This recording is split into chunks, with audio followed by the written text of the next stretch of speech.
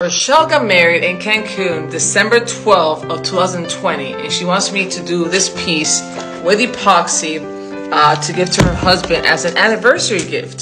Thank you so much for the support. And she also had a uh, Christmas theme uh, for her wedding, which is kind of cool.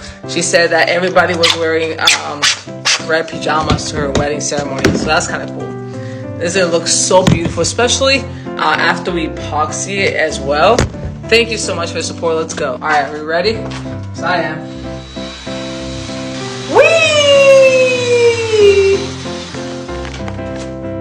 Oh my God. Now let's reveal and epoxy it. And there you have it.